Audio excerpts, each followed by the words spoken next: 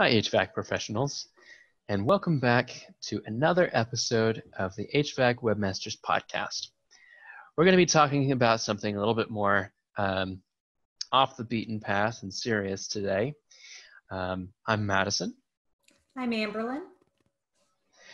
Today, we're going to be talking about customer service.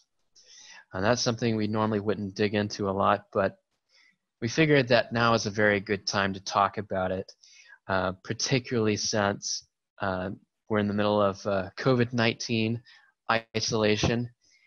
But you can take some of the stuff we'll talk about today and apply it to your customer service in general. So, what do we think about Amberlyn when we're talking about customer service? Well, when you think about customer service and talk about it with a client, for example, um, they're always going to fixate on the interaction that they have with the person they're talking with, the professional, whether they can answer the questions, whether they were pleasant, professional, and of course, if they were able to do the service and get that completed in a timely and functional manner. That's a really that's a good answer. Pretty concise. Um, so customer service obviously there's a lot of elements about you know being on site actually performing the work. I think something that amberlyn mentioned is very important too. Communication. Communication especially clear understanding with the client of what you're going to do during this time and during your service is essential both at the beginning the end and in between. If you can communicate what steps you're taking to keep them safe, to keep your people safe, and to limit your impact on that person's home or business, you're going to create some astounding benefits for both your clients and your business in the long term. What sort of biz, uh, what sort of benefits, Amberlyn, uh, can you think of uh, if they really nail that customer service? Oh, a lot. Uh, for HVAC professionals, if you can really nail your customer service during this time or any time, um, you can get very heartfelt reviews where the customers express how great you guys were, how you helped them, and what you did during this time. Mm, that's a good point. Yeah. Mm-hmm. if you recall, we discussed in a previous podcast about BBB, Google, and a couple other platforms that this is super beneficial on. Um, another thing that I think is super important is the referrals and the social mentions, which are kind of one and the same, but one's online, that would be social, and one's verbal or just regular communication, which is your referral to friends and family. Yeah. You can definitely create a lot of potential revenue boosts for yourself, both in the short term and the long term. If you really nail customer service during this time, people are going to remember it, especially if you showed them that you are concerned with their well being and their safety. Yeah, and that will lead to lifetime clients, which is great for your HVAC company. Yeah, very true. Very true. So, communication what does that look like? What can HVAC, heating and cooling professionals, do during this time to communicate really well with clients and to really nail that customer service. I think really the best anyone can do is explain what you're going to do to keep people safe, uh, both during or before, I should say, the uh, actual interaction starts and during the job site itself. So, what are some uh, what are some ways, Amberlyn, that HVAC uh, clients can uh, communicate effectively with people? Well, when you get that initial phone call, just go ahead and take the time to say, hey, this is our current plan for when our professionals go out there to repair your system. Um, we will be mostly outside working on the system, or depending on the location, we might need access to this.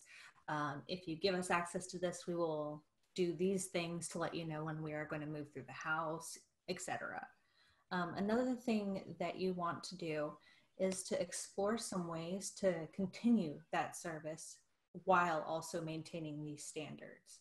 so that you can guarantee that your clients get the same great service from you and that despite having to have this distance from them, they're still getting great customer service as well. Okay, so you're talking about maintaining the same standard of service while also keeping that social distance in place. For sure, that's exactly it. Mm, that's a very excellent um, insight there. A lot of a lot of communication is going to be direct with people, and your technicians are going to be you're going to be in communication with uh, dozens and dozens of people over the course of the next month. Many of those people are going to want to talk about COVID. Let's be let's be real. It's a very, important issue for them, and you may get sick and tired of uh, hearing about it after a while. Uh, obviously, that's it's a lot for anyone to deal with. It's a stressful time, but try to maintain that empathy and that compassion or that compassionate uh, tone as much as possible and prepare your technicians to do the same. It's it's going to be a lot to deal with. And if you if you aren't planned ahead then you know it, it may be easy to who knows you know even snap at somebody during this time. But if you've prepared yourself mentally and if you've taken the time to reset yourself in between service visits and to think to yourself, okay, this is what I'm going to do to keep people calm. This is what I'm going to do to serve them to the best of my ability. You're going to be amazed at how people respond as a result of that. So, you've set standards for yourself on how you're going to communicate with people. Next, you're going to have to plan ahead on how you're actually going to follow through on all these great ideas you've had for keeping people safe.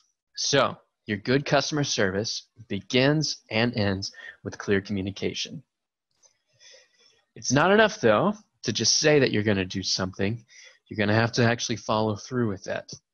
And to follow through with it effectively, it's going to require lots and lots of planning. So, what are some things that you can do during this time to make sure that you're keeping both your team and your clients safe? Amberlyn, what are some off the top of your head thoughts? Well, of course, everybody is basically sticking with the face mask covering. So when you go onto a job site to repair an HVAC system, make sure you do have that face covering going on. Um, but additionally, consider having a couple sets of gloves on hand for your professionals. This way, they're minimizing surfaces they touch. Now, when you're working on a system, it's not going to be always that you can just have your gloves on. You have to be able to move around and you don't want to get snagged on anything. So that's where a second pair comes in. Also, something that could be very good go ahead and have them bring sanitization equipment. So whenever they touch a surface or have to knock on a door or put the system back together, they can go ahead and wipe it down to give the homeowner a peace of mind. I like that. Um, I think some of the things, you know, the masks, washing your hands, you know, bringing Purell to the job site. I think that's something that many people are doing naturally these days. However, wiping down the areas that you've touched, that's an added, uh, that's a clear show that you're concerned about uh, diminishing um, the risk to the client. And that's something everyone will appreciate as well. Uh, you're not just saying that you're going to try to keep them safe. That's real, really serving people. And uh, all your clients are going to appreciate and remember that. So customer service could end there, and um, that would be perfectly fine. You'd have done a great job. Or you could take your customer service the extra mile and uh, really bless your community during this time. Now, community service doesn't always affect your bottom line, uh, at least in ways that you can directly tell. However, it can really bless your community and it create and it can create some lasting relationships. Hi, Amberlyn. For sure. Um, one of the important things you can do to help your community and really bolster your relationships with the community is go ahead and offer some help if possible. Um, you can like reach out. A lot of people right now need a lot of help because of pandemic going on. So if you can reach out, provide like an email that they can communicate with you with, to you with, apologies, um, it could really help them get the help they need. Um, another thing is you might want to consider the elderly in your community. Um, unfortunately, it is hard for them to get out to the grocery stores, and they are the most susceptible due to a weakened immune system state. So, going ahead, reaching out, seeing if you can possibly deliver them some groceries is another great way to help your community. Hmm. These are these are some great ideas, Amberlynn. I think there are so many different ways that you could help people. And as Amberlynn pointed out, there are those who are more susceptible during this time and are in greater need of assistance. You don't have to shut down your business to support them, and you don't even have to um, dedicate dozens of hours to doing this sort of thing. Even if it's just one extra hour a week that you ask people or that you tell people, hey, during this hour, during maybe this Friday at six o'clock, we are going to offer uh, grocery delivery assistance for people in the community. And you can use that email. If you know somebody in the community who needs help, this is the email that we're offering people to get in contact with us, and we'd be happy to uh, add them to our list to deliver groceries once a week. That may seem like just a small way to pay back the community for uh, all the business that they've offered you, but people are going to remember it and people are going to be really grateful. Even if it doesn't affect your bottom line, you're serving the community in a real and very tangible way. That's its own reward there. So, Amberlynn, as always, what are some uh, great takeaways for HVAC people? For the first time, I only have one takeaway, and that's communication during this time. It's critical to get your customers the information they need and kind of assuage their fears, giving them that great customer service experience as well. That's a really great point. I think a good a good takeaway for people balance that communication with a really solid plan, um, both physical uh, preparation and mental preparation for your technicians and yourself. Make sure that you're offering time uh, for your or for yourself to between jobs. Sorry, struggling here at the end. Uh, make sure that you're giving yourself time uh, to relax in between visits, and um, that you're mentally preparing yourself to go 100% for that customer service. Well, guys, thank you so much for listening in, and we hope that you're doing well during this time. Hopefully, you feel inspired and uh, you've gotten some ideas of how, how you can better serve your community and your clients. And uh, again, thanks for listening. We'll see you next time.